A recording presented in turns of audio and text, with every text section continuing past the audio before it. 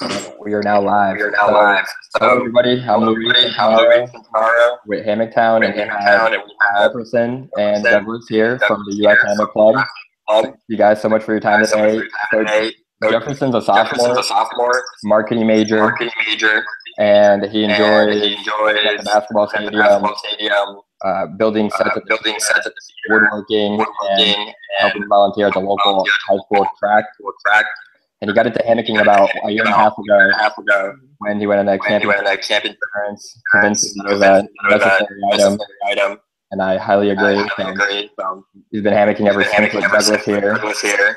who's going to be starting pharmacy starting school pharmacy school and enjoys and enjoys photography, helping out with the campus, out with the campus uh, does a lot of Uh, social media lot of work, social media work. and you know he got into hammocking uh, with Eno and Grand Trunk, and and uh, it's been a weekly thing with, with friends.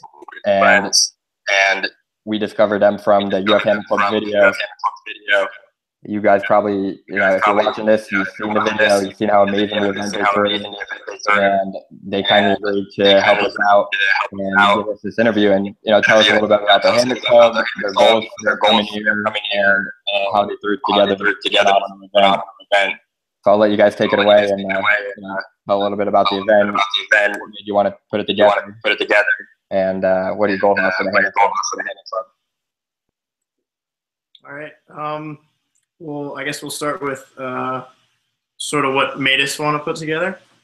Um, there's a, f- a few different things to that. Um, obviously, we had like our, a weekly sort of like get together group, um, which was named Eno Trunk Tuesdays.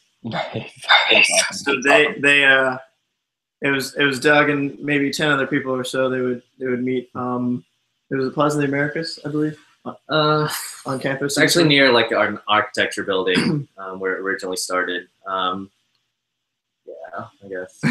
so they um you know that normally meet just somewhere on campus um and one afternoon they they wanted to they met, met in front of the stadium which is like you know sort of public road high visibility um and a lady from the gainesville sun ended up stopping by our newspaper um and i was like sort of trying to get to this this hangout and i missed like being in the paper by like two minutes Oh no. I was kind of bummed about it. I was like, all right, Doug, we got to do this again, and we gotta we gotta do it big. um, so we, we ended up throwing throwing a party, um, and that one had about forty or fifty hammockers, and um, we were you know sort of playing out in the field there too. Um, so we, we threw that event, and that got us a little attention. We threw another one just like it, um, like a month later or so. Um, and uh, I, I don't. Doug ended up talking to Grand Trunk a little bit, um, and they sent him, or they were planning on sending him some hammock straps, um, so to kind of demo and like maybe promote a little bit. So we sat down. It was a few days before spring break, and we're like, "Hey, we got to do sort of one last one, you know, end of the semester." Perfect. And we, we looked at our calendars, and the best day was a, a reading day. You know, there's this sort of pre-exam day where no one has any classes.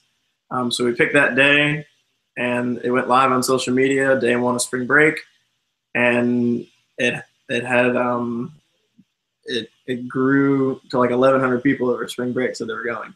Wow. Wow. And we just kind of sat there and we kind of looked at each other. With every passing day, we had 80 more people RSVP, and every single day we were just freaking out.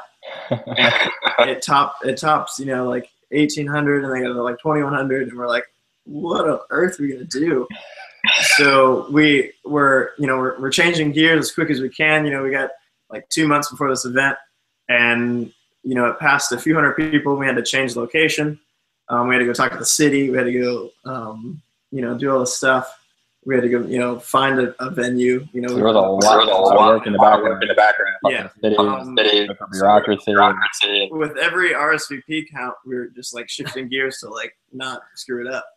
Um, and we also decided to add shirts Yeah. to the equation, which is a completely separate task of itself. we, we got to the shirt portion of it, and um, after we broke a, a thousand or so, and then we're like, well, we can't pay for anything because we're like a brand new nothing, you know. yeah, of course. Yeah, of course. Um, so so now we're tracking down like people to sponsor it. We're doing all this like marketing stuff and and talking to local businesses as well as like Grand Trunk and Eno and stuff like that. That is very exciting. Um, It was very exciting. So like it just gets crazier and crazier, and um, so I mean that that's it. Like it kind of consumed us for a bit. I bet. I, I bet. bet. How many total people showed up to the party? Party. Um, we we wish we had a guest list, you know, like a wedding or something, but we didn't. Um, our our best guess is is like six or seven hundred, maybe eight. Yeah, from the video. Yeah, Um, from the video looked. Yeah, there, there's a ton of people there. Um, we ended up, it was sort of near like the end of the day, so we kind of missed the peak because we were busy sort of just like handling it all. But we did a video of me running around counting all the hammocks. It was like 160 or something like that. oh man. Um, Oh man. So that like that was a ton of fun. But we definitely had more than that earlier. But we were kind of we were a little like just trying to make sure everything worked. You know, Mm. making course, sure the shirt was going, shirts were going smoothly, making sure like you know everything was was working. Very cool. Very cool. Sharing that. So you guys So found you guys club this year, 2015. Year, 2015, right? Yeah, yeah, definitely. I mean, we had an idea to actually start it um, back when we were the Eno Trunk Tuesdays group, but we were just like a group of, you know, like like you said, like ten people max or something, and you know, we'd talk about it, it's like, oh, you know, the possibility to start a club um, is within reach, but you know, we didn't really have that strong of like uh, support base, or um, you know, we were still kind of doing classes and just hanging out when we could. Um, but I mean, with the success of you know the earlier event um, that we had out in front of the stadium, like that was just literally the perfect um, stepping stone for just the club in general. For the great segue. That's a great segue. Hey, let's do Yeah. this. Let's do this. Definitely. So, what's So, the process like right now? Like right now, with student government, government, you know, any you know, advice you can give to anybody else Anybody else? trying to get this track and this start a club at their club school? at their school. I mean, I want to see I mean, I Hannah see everywhere. hands everywhere. We're working on it. um, uh, I mean, like as far as getting the paperwork done, um, I mean it's a little time intensive, but Mhm. I mean we looked it up on online and they sort of had like a, a sample on how to fill it out. So like none of that was that hard, and we had a lot of people, a few, you know, sort of original, you know, group of ten, you know, that kind of was willing to help us with that. So the founder, So the founder, Yeah. As far as I mean, like our biggest speed bump, which we're actually still tackling, is um, even at a, a sort of a big university like this, we're we're looking for a faculty member that isn't like part of another club, which you, they can't do two, okay. or you know just finding some personal connection with one that's willing to to lend us a hand as a sponsor. Um, so track that down first if if you're starting a club. makes sense. makes and then sense. And then you said it was, you you know, said it was originally ten people 10 people hanging out. hanging How many How many members are you gonna have when you are gonna guys, have when you guys you know, have this have this fully started? And started and you know, like you said, you you're know, gonna have like the you said, original you're gonna have founders, original but founders, but there was there there was was two thousand people that people that RSVP'd. RSVP'd, How many do you think will show up do you think will weekly show to meetings and events? events.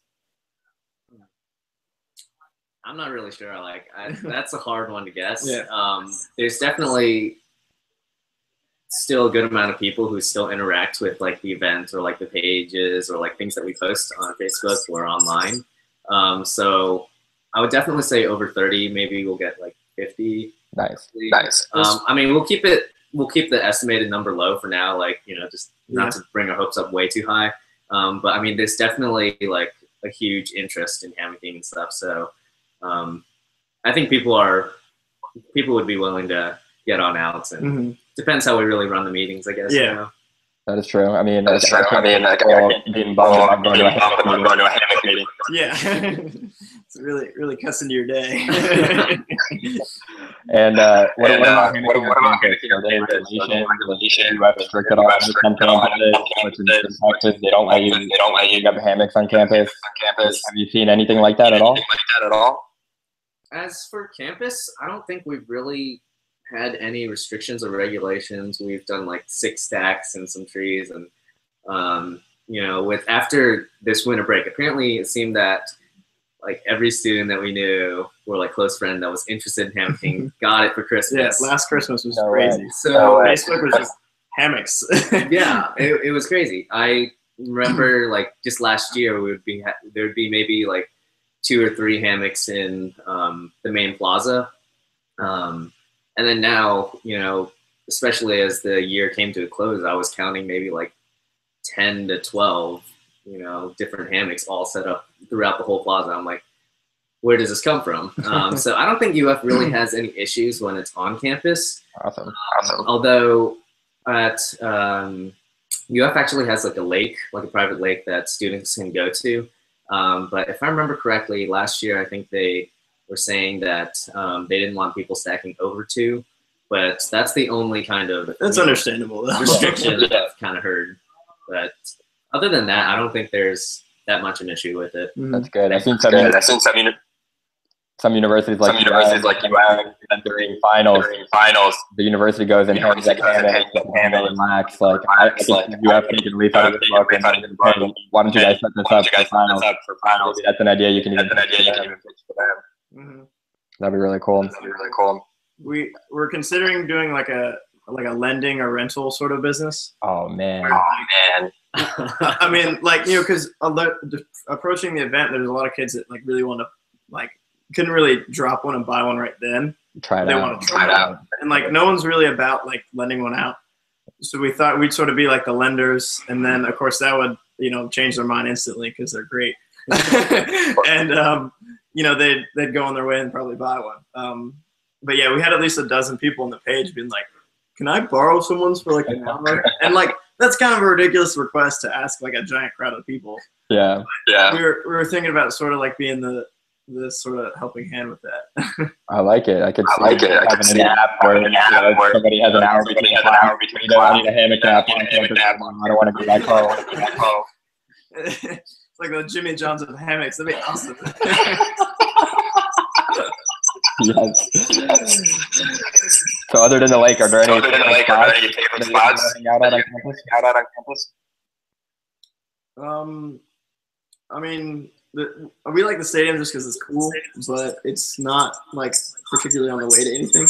Mm. Um, you know, Plaza of the Americas is is sort of the central of the campus. Um, it's in between a couple of libraries.